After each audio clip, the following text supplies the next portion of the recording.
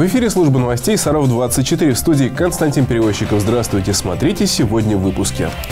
Большая перемена. Саровские школьники представляют город на всероссийском конкурсе. Инсайту 15. Клуб волонтеров отмечает день рождения. Третье место среди нижегородских команд.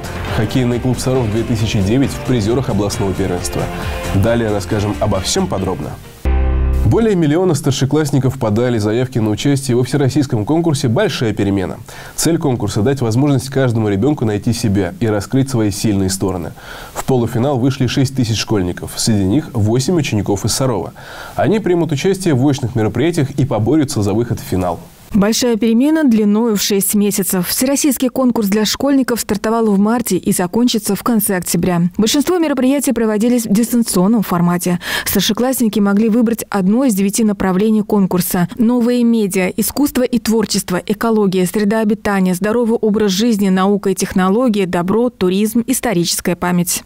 Это первый такой масштабный проект, который представляет возможность э, школьникам с 8 по 10 класс проявить себя в интеллектуальном развитии, э, профессиональной ориентации, э, в определении и своего дальнейшего жизненного пути, представлении каких-то своих творческих проектов. В заочном этапе приняли участие более миллиона школьников от 14 до 17 лет. 6 тысяч подростков дошли до полуфинала, который проходит в офлайн формате формате в нескольких регионах. Среди полуфиналистов оказались и 8 учеников из Сарова. Школьники отправились защищать свои проекты в Нижний Новгород.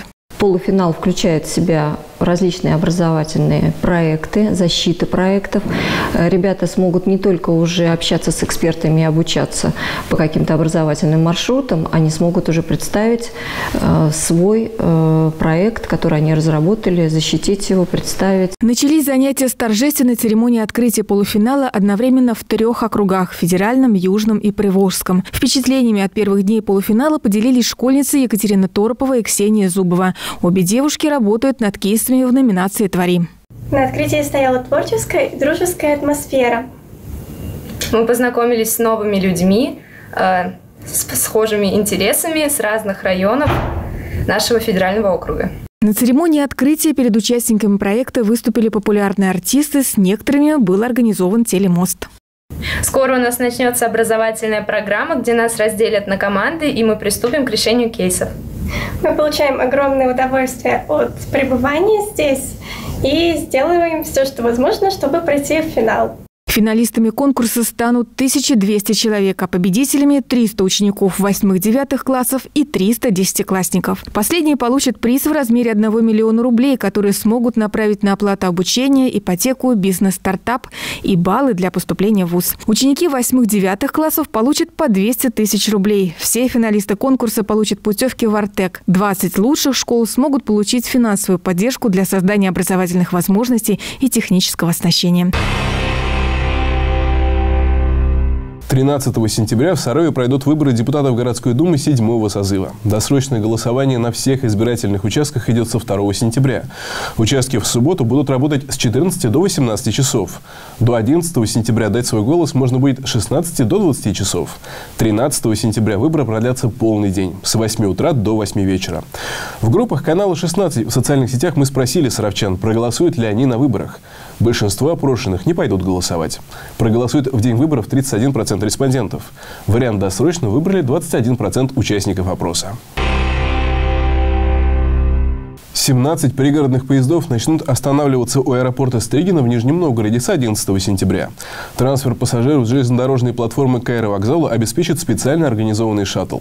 Расписание его движения синхронизировано с расписанием железнодорожного транспорта. У жителей Павлова, Богородска Арзамаса также появится возможность доехать до аэропорта Нижнего Новгорода на пригородных поездах. Другая важная информация в подборке коротких новостей. Специалисты приступили к подготовке выкупа у собственников 92 гаражей, снос которых необходим для строительства дороги к новой детской поликлинике. На эти цели в бюджет заложено более 50 миллионов рублей. Сейчас в администрации уточняют реквизиты, на которые будут перечислять деньги. Всем собственникам указанных гаражей необходимо обратиться в Комитет по управлению муниципальным имуществом по телефонам 9 90 50 или 9 77 71.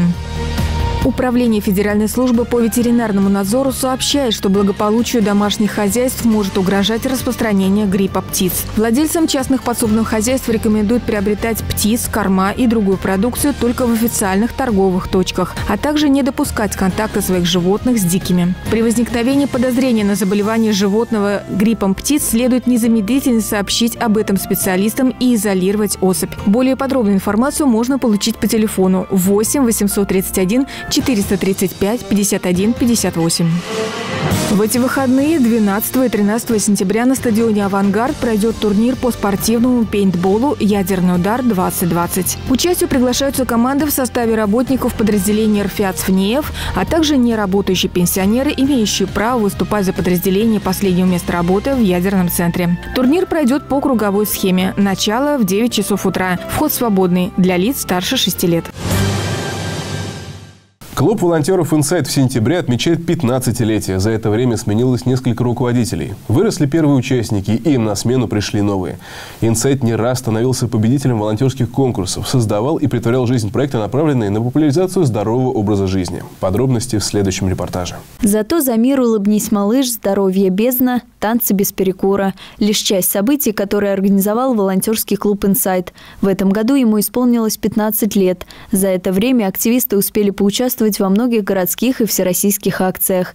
Григорий Крайнев пришел сюда студентом. Тогда он еще не предполагал, что добровольчество станет его основной деятельностью. Со временем инсайт пополнялся активистами разных возрастов. Больше года назад Григорий стал руководителем.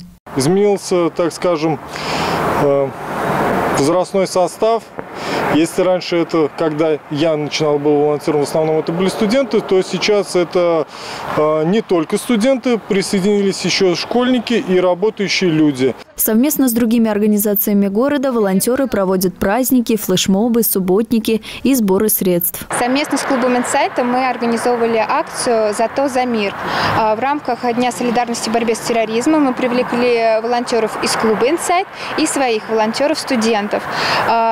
Провели, скажем так, подготовку от А до Я и изготовление символа «Голубь мира». Для активистов «Инсайт» стал не просто клубом добровольчества. Это площадка, где ребята могут развить свои организаторские способности, творческий потенциал, найти новых друзей.